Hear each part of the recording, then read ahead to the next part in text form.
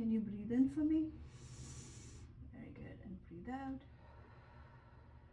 So this is how we can see how good you are doing diaphragmatic breaths.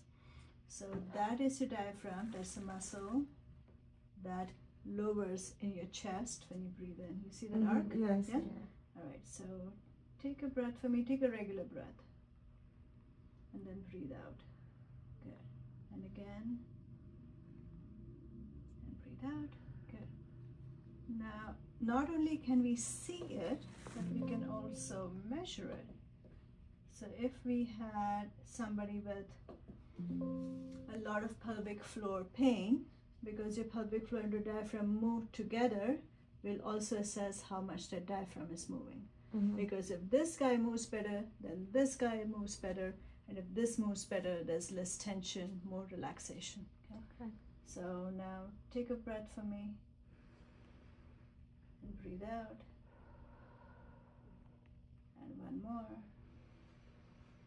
And breathe out.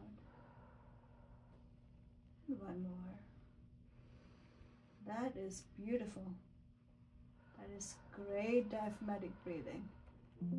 This is also great for kids who have issues with constipation because mostly kids who have constipation, um, who have a hard time going to the bathroom or refuse to go to the bathroom, Mhm. who have pain with going to the bathroom, or who have a lot of bedwetting. A lot of bedwetting is because of constipation.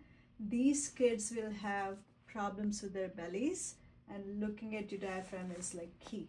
This is the first thing we do to get this, and your mobility is 46 millimeters. That is fantastic.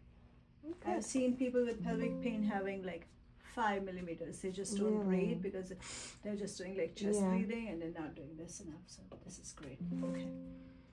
All right. So that is good. Okay.